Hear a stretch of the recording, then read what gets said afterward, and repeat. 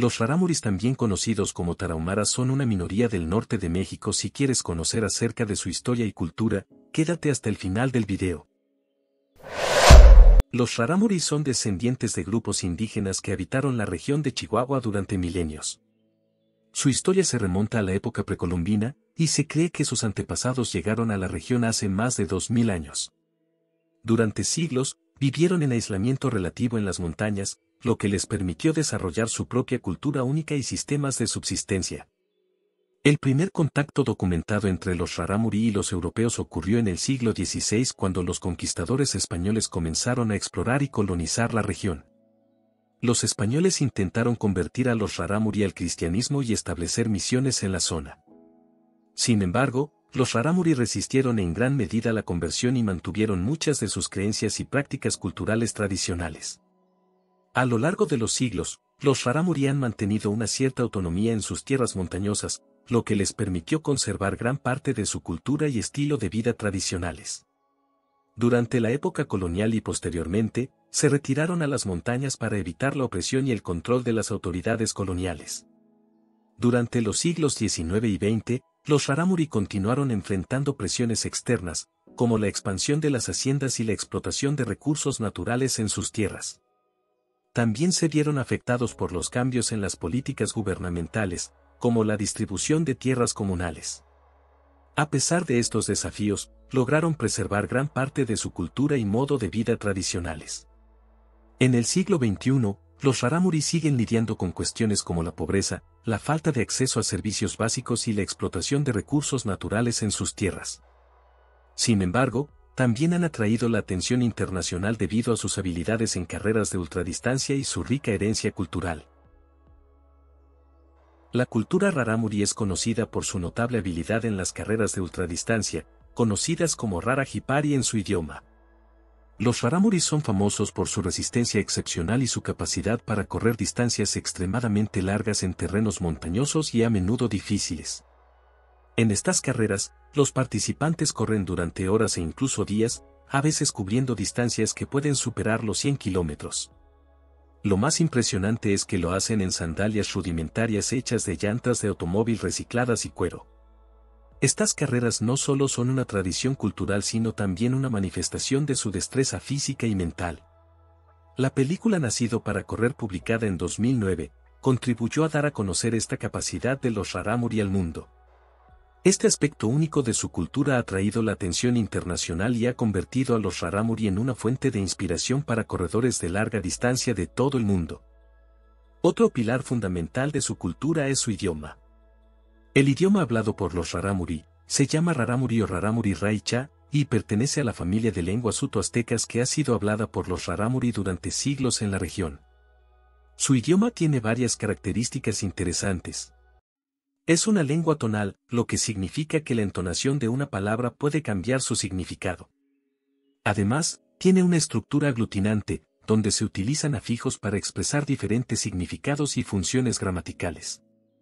Aunque también existe una ortografía estándar para el rarámuri, no todos los hablantes lo usan de manera consistente en la vida cotidiana.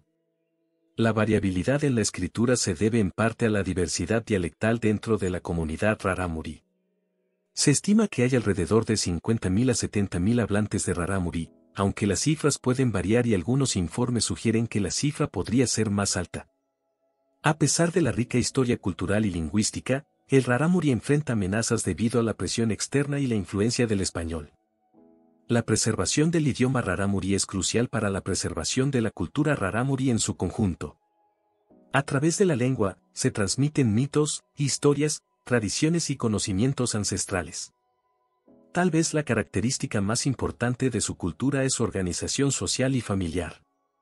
La unidad social básica es la familia nuclear formada por el padre, la madre y los hijos. La pareja recién casada va a vivir a casa de los padres de la mujer y en cuanto les es posible tener casa y tierra se establecen por separado. A los hijos nunca les regañan, y desde muy pequeños les dejan la responsabilidad del cuidado de algunos animales o tierras y sobre todo de decidir por ellos mismos.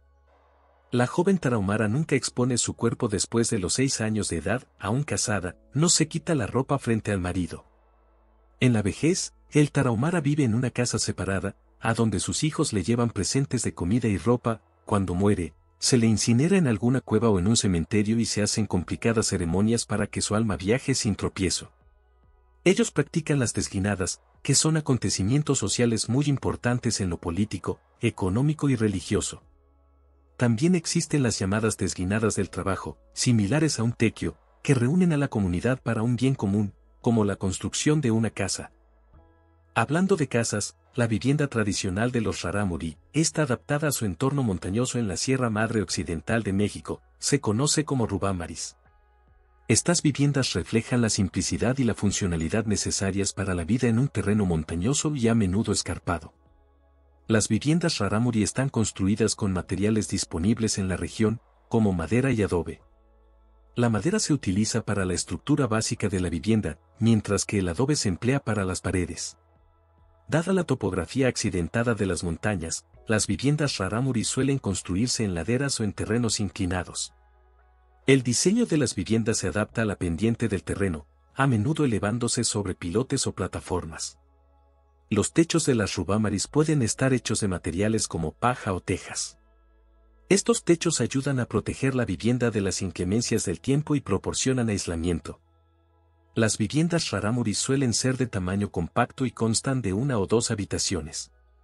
Los espacios son utilizados de manera eficiente, con áreas designadas para dormir, cocinar y actividades familiares. Las viviendas suelen contar con aberturas para permitir la ventilación y la entrada de luz natural. Esto es especialmente importante para maximizar la circulación del aire y la iluminación en un entorno donde las condiciones climáticas pueden variar. Dada la variabilidad climática en la región montañosa, las viviendas Raramuri están diseñadas para adaptarse a las estaciones del año, proporcionando refugio contra el frío y permitiendo la ventilación en climas más cálidos. Los Raramuris logran subsistir a través de artesanías y la agricultura. Debido a la topografía montañosa, los rarámuri han desarrollado sistemas de terrazas agrícolas en las laderas de las montañas. Estas terrazas permiten la retención del suelo y el agua, creando espacios de cultivo en terrenos inclinados. Los cultivos principales incluyen maíz, frijoles y calabazas, que conforman la base de su dieta. El maíz es especialmente importante y se cultiva en diferentes variedades adaptadas a las condiciones locales. La agricultura entre los rarámuri no es solo una actividad práctica, sino que también tiene un significado espiritual. La tierra se considera sagrada, y las prácticas agrícolas están entrelazadas con creencias y rituales religiosos. Los tarahumaras fabrican objetos para satisfacer las necesidades de la familia, tanto para el uso cotidiano como para las ceremonias y rituales. La producción de estos objetos está dirigida primeramente al autoconsumo y el excedente se comercializa. Las mujeres hacen ollas de barro, cajetes, platos, vasos, tazas y jarros, en algunos lugares también usan la palma y palmilla para tejer canastas de diversos tamaños. Los hombres fabrican violines, bolas, arcos y tambores, bateas, cucharas y tallan figuras con madera. Unos y otros tejen cobijas y fajas de lana con figuras geométricas. Otra característica muy reconocida es la vestimenta. La vestimenta tradicional de las mujeres es una falda estampada, que se le da volumen con otras faldas que usan debajo, una blusa y una pañoleta alrededor de la cabeza, y del hombre es un blusón de manta, una tágora de manta dispuesto a manera de calzón amarrado a la cintura con una faja y una banda en la cabeza.